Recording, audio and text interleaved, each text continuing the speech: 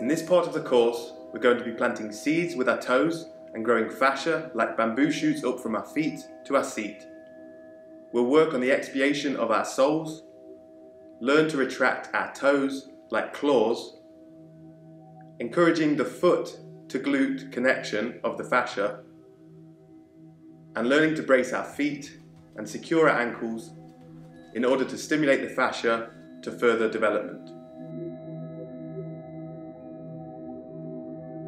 For this, you'll need a firm, thin cylinder like a broom handle, a PVC pipe, or a rolling pin works pretty well as well. You need a roll-up pair of socks, a block or a step to stand on with a wall or a pole for balance, a table or a counter to lean on.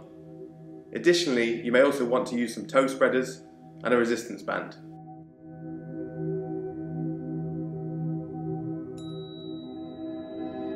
If you're looking to become more athletic and have no injuries, then this program should be a big focus for you.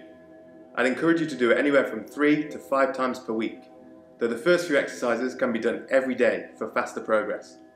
If you have some injuries, then I would still encourage you to give this full session a go at least once and then stick with the bits that feel the best and feel free to do it as much as you like, but three times a week is a good amount of time with enough time to focus on the other more recovery focused parts of this course as well. If any of the exercise aggravates your issues, then leave it out, at least in the beginning. But I would say that the first few exercises of the sole roll and the toe curls should be done regularly by everyone who wants to get the most out of this course. I'd like to give a big thank you to Chong Xie from Secrets of Athleticism for the inspiration for many of these exercises. To start things off, we're going to do some sole expiation. After years of being mollycoddled in cushioned footwear, this is my number one go to for rewilding our feet. Similar to rolling our feet out on a ball, but with a slight difference that with the ball, the knots can jump out of the way. With this, it's more of a steamroller action, and there's something in the linear direction of the roll that just feels more effective. To set up, you need some sort of firm cylinder, like a PVC pipe, a broomstick handle, or a rolling pin. I'd recommend having cylinders with at least two different diameters if you can. Also, you're going to want to do this in a door frame or with poles to lean on, as this helps you vary both the pressure and the angle you're going to apply through the foot. There are two techniques I want you to apply. One, starting with the thickest cylinder, you're going to put the ball of your foot on it and lift the toes. Now, keeping the toes lifted, roll the foot from front to back. Start slow and with light pressure to get the sole warmed up and then you're going to build up to more weight and more speed if you wish. I want you to focus predominantly on the lateral arch or the outside edge of the foot, and the battle to keep the pinky toe lifted. I'll explain why in a minute. Do some complete passes, and then you're going to want to search about for specifically knotted areas. These will feel like lumps and could be painful to roll on. You want to find the right amount of pressure where it's uncomfortable but not sharp, like a good massage, and you're in control of the pressure. The second technique we're going to apply is to find a knot or a particularly weak or sensitive spot, and then you're going to reflexively pulse your weight on it, like this. So you're adding pressure, and just when it's about to be too intense, you're quickly taking the pressure off again, all the while trying to fight to keep your toes lifted against the urge to want to grab. Over time and repetitions, this will help to strengthen and open up and undo the knots in your soles. Once you've spent a good 2 to 5 minutes on the thickest cylinder, then you want to get a thinner one and go again, rolling out the foot and pulsing your weight on specific spots. How long for? You're going to want to do 5 to 10 minutes minimum per foot, working down through the diameters. Also, I'd recommend you do this every day or every other day, especially in the beginning, from 3 to 7 times a week. And I've put it as this part of the course because I think it's a great warm up before you do the rest of the Earth program. There are three arches in the foot the medial arch, which is the inside and the most commonly talked about, the transverse arch, which goes across perpendicular to that, and the lateral arch, which is on the outside edge. As I've stated, I want the main target of your exploration to be on the lateral arch. The outside of the foot is the ground floor of the skeleton. The outside of the foot makes up the ground floor of the skeleton of our body. The calcaneus or the heel bone connects to the cuboid which connects into the pinky and the fourth toe. The big toe, second and third toe all connect into the talus via the navicular, which sits on top of the heel bone. As well as, or because of that, there's a lot of meat and muscle on the outside edge. And for those of us who overpronate, this is often very weak and therefore sensitive. If we can awaken and strengthen this side of it, then we'll be able to take more of the weight and help to restore balance to the bottom of our feet. Also, what happens when we step on something uncomfortable, the whole body reflexively jolts and tenses up. As we strengthen the bottom of our feet and its ability to bear weight on small objects, this aids in stopping the reflexive tension reaction upstream and helps us to move around and stay more relaxed in the body as it's not in this constant state of low level chronic tension from weak feet. As well as that, as we strengthen the outside arch of the foot, this aids in the medial arch's development too. So, for anyone with plantar fasciitis or flat feet, this is an exercise you're going to want to do very regularly. Additionally, you may want to hit the other arches as well. You can do the transverse arch like this. This feels nice in helping to spread out the toes. And the medial arch is worked best on an angle like this. It can feel really good. I mean, like the best foot massage you've ever had. It's best done at the end of your session. It might give a new meaning to the term happy ending. A word of warning about this the sole roll stimulated quite a big healing reaction for me. Like in Chinese medicine, the soles of our feet are connected with so many parts of our body, and stimulating them can cause all sorts of reactions. I got night sweats nearly every night for a week. Also, it will fatigue the bottom of your feet. So if you do have foot issues, try not to be on your feet too much for the rest of the day after this, or do it before bed instead. So, in summary, we're rolling from front to back of our soles, keeping our toes pulled up as best we can, and prioritizing the outside edge. Also, pulsively loading our weight on and off the knotted tender spots, working down in diameter to smaller rollers for 5 to 10 minutes per foot. And I'd recommend you do it every day if possible, especially in the beginning. In my opinion, the sole roll really gets the low hanging fruit in terms of foot gains it is one of the easiest and most effective ways to improve the strength and health of our feet, starting at the very bottom. Time to get to know our soles a little better.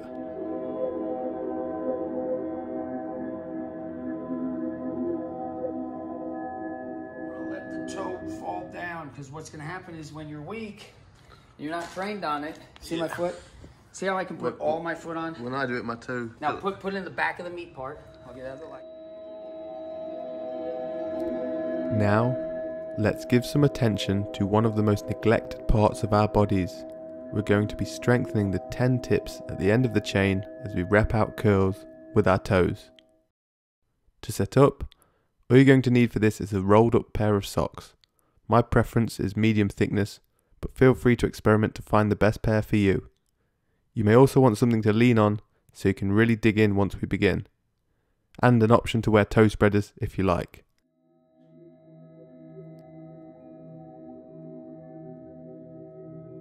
Drive the ball of your foot into the lower edge of the rolled up pair of socks and grip the socks with your toes as hard as you can for a split second and then release.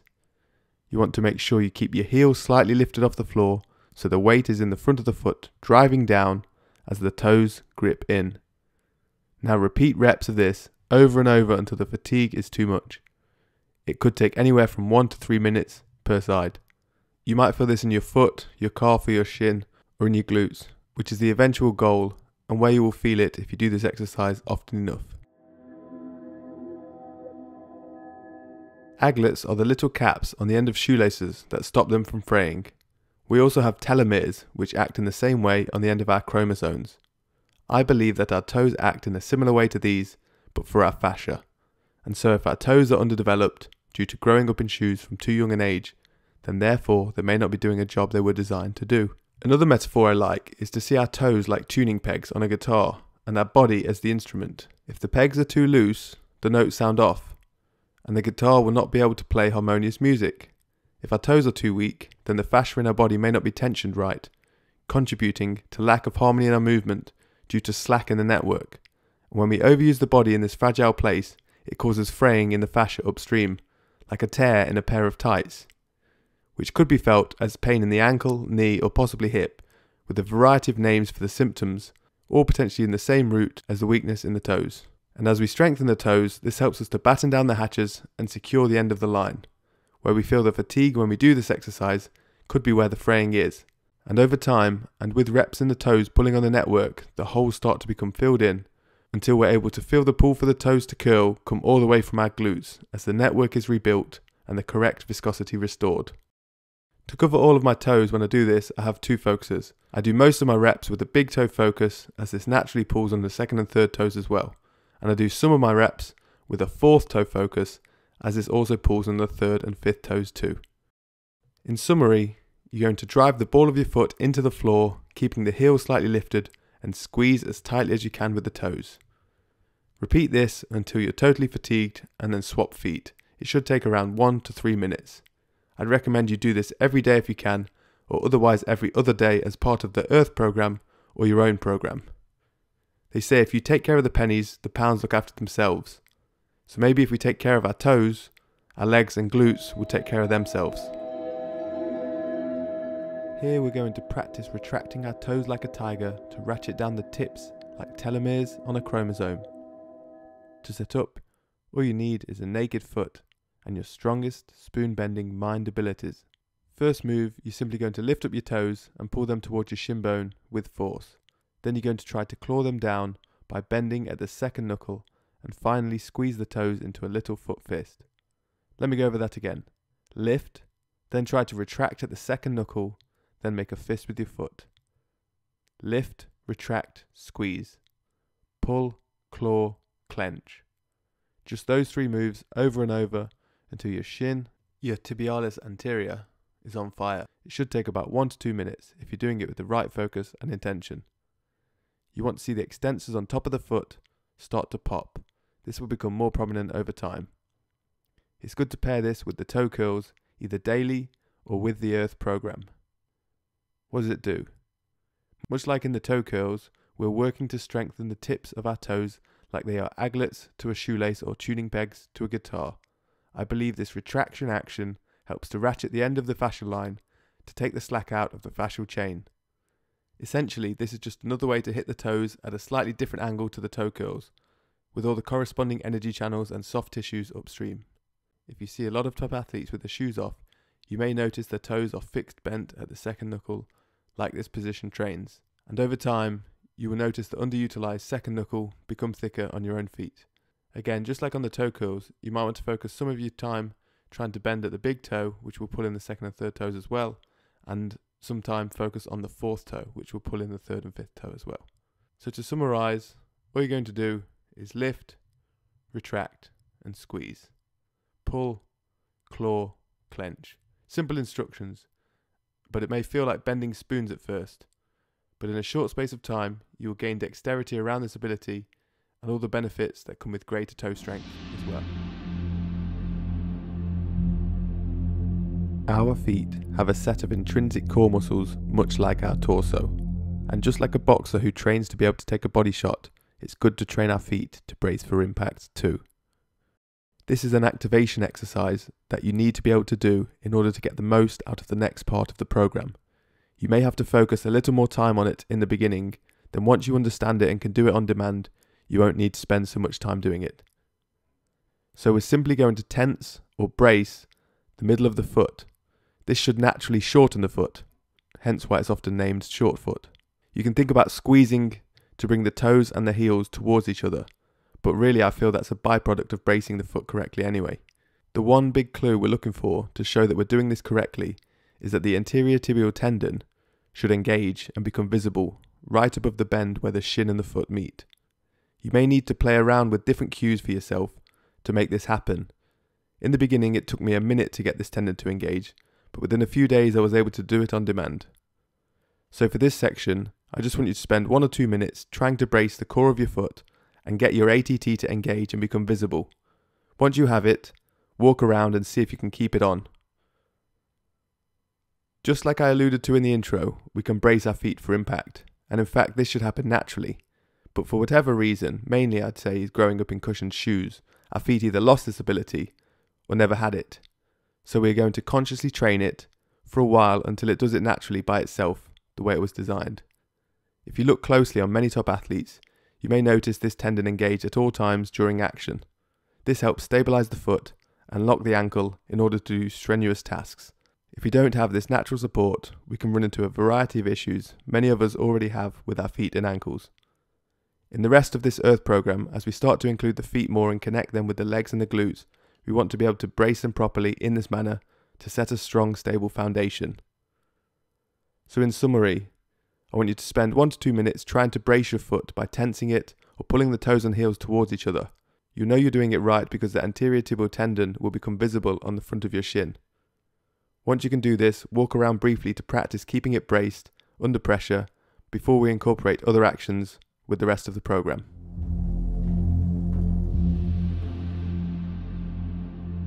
Now it's time to work on our foot to glute connection in a low impact way. To set up, you're going to want something to stand on to raise your standing leg a few inches off the ground. You can use a block like this, a thick book, or a step. You may also want a pole or a wall to use for balance. Then stand on the platform and engage the core of your foot, making sure the ATT is visible and maybe the toe extensors too. And do the same with the other foot as well. Now you're in place, you're simply going to swing the other leg back and forth over and over till you're too fatigued to stand on that leg anymore. It could take anywhere from 1 to 3 minutes each side. You might feel this in your foot, your calf, your quad, or the glutes which is the goal and where you will notice it more and more as the weeks go by of you following the Earth program. This exercise is simply about building the connection from our feet to our seat. We're simulating running mechanics with our foot braced but without the impact of running. This encourages the fascia to grow up our legs like ivy up the side of a house. One variation I enjoy is to band the standing leg, either by the knee or the ankle. This gives you something to lean into in order to simulate the angle of running mechanics even more. Also if you want you could try it with rolling rope in the underhand pattern to really put a figure of 8 through the ankle. So in summary, you're going to stand on one elevated leg and using a pole or a wall for balance if you need it, you're going to swing the other leg until fatigue forces you to stop. Simple and effective method for training our glutes, all the while honouring human locomotion. Here we have one of the main exercises for strengthening the core of our feet and stimulating fascia development all the way from foot to butt. For this, especially in the beginning, I'm going to request that you have a surface to lean on, like a table or a kitchen countertop. Also, this is best done with bare feet and on a hard surface if possible. So you're going to start on two feet and lean your weight onto your hands or forearms on the table. Now brace the core of your feet Make sure that the ant tib tendon is visible and your ankles are stabilized. Keep a slight bend in the knees and gently start to bounce on the balls of your feet. You want to start light and the key is to make sure your heels stay floating off the ground. As you warm into it, you can gradually take more and more weight off the upper body and onto the feet, as long as it doesn't disconnect the core of the foot from bracing upon impact with the ground. A clear sign of this is if the heels start to touch the ground. You should eventually start to feel the burn in either of your feet, calves, or glutes. You want to keep going until failure or close to it. It should take anywhere around 90 seconds to 2 minutes. If it's too easy and your feet are healthy, you can start to explore a variety of angles like this.